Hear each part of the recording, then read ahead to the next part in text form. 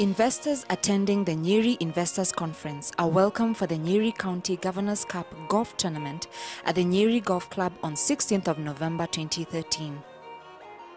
Nyeri County, harnessing investment opportunities for job and wealth creation.